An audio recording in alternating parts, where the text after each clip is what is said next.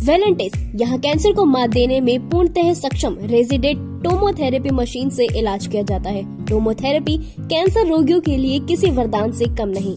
Cancer मरीजों के लिए समर्पित उत्तरी भारत का एकमात्र hospital, Valentis, Mawana road, Masuri, Meerut. धर्म के नाम पर भावनाओं को भड़काना और फिर अपने मकसद के लिए दबाव बनाना। मेरठ नई सड़क, शास्त्री नगर, मंदिर विवाद में ताज़ा तरीन सीन तो यही नज़र आ रहा है। यह भी कि विवाद केवल मंदिर का नहीं है, बल्कि उसकी ज़मीन का है। बड़ा सवाल यह है कि जब संपूर्ण भाजपा पीछे खड़ी हो, विधायक हमें हाँ मिला रहे हो, तब भाजपा के पार्षद व पूर्व पार्षद की गिरफ्तारी यूँ ही तो नहीं हो गई होगी। आरोप लगा कि वे मंदिर की करोड़ की ज़मीन के बदले सम्राट स्वीट्स मालिकान से 20 लाख रुपए मांग रहे थे। न देने की एवज में रात के अंधेरे में बिजली मीटर में इसलिए आग लगा दी गई ताकि कोई बड़ा हादसा हो। और सम्राट स्वीट्स के मालिकान एक और परेशानी में आ जाए। दिन भी मुख्यमंत्री योगी आदित्यनाथ के आगमन से पूर्व रखा गया, ताकि मामला ज़्यादा हाईलाइट हो सके। इस संपूर्ण प्रकरण में भाजपा के तमाम बड़े पदाधिकारियों व विधायक की कार्यप्रणाली पर सवाल निशान खड़े कर दिए गए हैं। या यह कहें कि सफ़ेद कपड़े, माथे पर तिलक व हाथ में भाजपा का झंडा कुछ लोगों की स्वार्थ पूर्ति का माध्यम बन गया है। फ़िलहाल पुलिस ने तीन स्तरीय जाँच, व लखनऊ से हरी झंडी मिलने के बाद भाजपा पार्षद, व एक अन्य पार्षद को गिरफ़्तार कर जेल भेज दिया है। मंदिर का पुजारी, परिवार व सामान लेकर भूमिगत हो गया है। रिपोर्ट में पुजारी का नाम भी दर्ज है। मैं हूँ रवि शर्मा और आप देख रहे हैं फ़र्स्ट बाइट डॉट टीवी। आपको याद दिला दें कि नई सड़क पर मधु गुप्ता नर्सिंग होम के पीछे एक प्लॉट है, जिसके बीच में पारिवारिक मंदिर है। इसे और इसके परिसर की ज़मीन को सम्राट स्वीट ने खरीद लिया। इसे लेकर तमाम विरोध, प्रदर्शन, हंगामे व सड़क जाम आदि हुए। वर्तमान में यहाँ मंदिर में पार्टी व संगठन से जुड़े लोग पूजा अर्चना कर रहे हैं। अब बात ताजे घटनाक्रम की। बीते 9 जुलाई को नौचंदी थाने में सतीश गर्ग, वीरेंद्र शर्मा व पुजारी महादेव शर्मा के खिलाफ रिपोर्ट दर्ज हुई। इसमें कहा गया कि 20 लाख रुपए की रंगदारी न देने पर उनके मीटर में आग लगा दी गई। यह आग तेरह मई 2021 की सुबह चार से पाँच बजे के बीच इन तीनों ने लगाई है। इसकी सीसीटीवी फुटेज भी पुलिस को दी गई। मामला चूँकि सत्ताधारी लोगों से जुड़ा था, लिहाजा पुलिस ने तीन स्तरीय जाँच कराई। जाँच में जब लगाए गए आरोपों की पुष्टि हुई तो भाजपा पार्षद वीरेंद्र शर्मा और बिल्लू, पूर्व भाजपा पार्षद सतीश गर्ग को गिरफ़्तार कर जेल भेज दिया गया। इन दोनों की गिरफ्तारी भी बेहद रोचक तरीके से हुई। दरअसल, सम्राट स्वीट्स मालिकान की तरफ़ से दर्ज कराई रिपोर्ट के खिलाफ आरोपी कोर्ट से राहत न ले लें, इसके लिए हाई कोर्ट में कैविएट दाखिल की गई थी।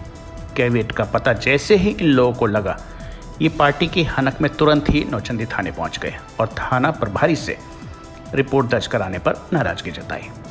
थाना प्रभारी ने दोनों को चाय नाश्ता कराया और वरिष्ठ अफसरों को इसकी जानकारी दी। लखनऊ। व उच्च स्तरीय पुलिस अधिकारियों की हरी झंडी मिलते ही दोनों को आनंद फानन में गिरफ़्तार कर जेल भेज दिया गया। आइए देखते हैं वह वीडियो, जिसमें बिजली के मीटर में आग लगाते हुए लोग नज़र आ रहे हैं। इसमें एक व्यक्ति की कदकाठी, आरोपी वीरेंद्र शर्मा से मिलती जुलती नज़र आ रही है। अब संपूर्ण भाजपा सम्राट स्वीट्स मालिक की घेराबंदी में जुट गई है। जहाँ नया सम्राट स्वीट्स बना है, वह भी नजुल की भूमि पर होने का दावा इन लोगों द्वारा किया जा रहा है। सारे कागजात इकट्ठा कर। एक विधायक व भाजपा के एक पूर्व महानगर अध्यक्ष को सौंपे जा रहे हैं।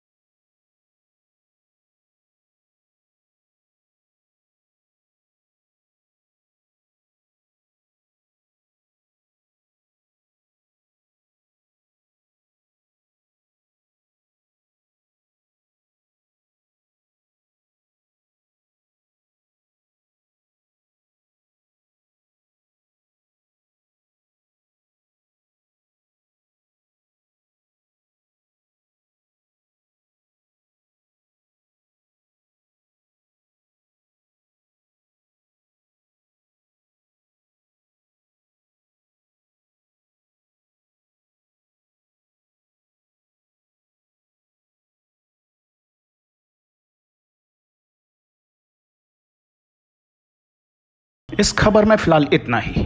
कोरोना की रफ्तार धीमी ज़रूर पड़ी है, लेकिन अभी कोरोना खत्म नहीं हुआ है। बेहतर है तीसरी लहर को आने से रोका जाए। जब तक बेहद ज़रूरी ना हो, घर से ना निकलें। सरकारी प्रोटोकॉल का पालन करें और देखते रहिए फ़र्स्ट बाय डॉट टीवी। नमस्कार।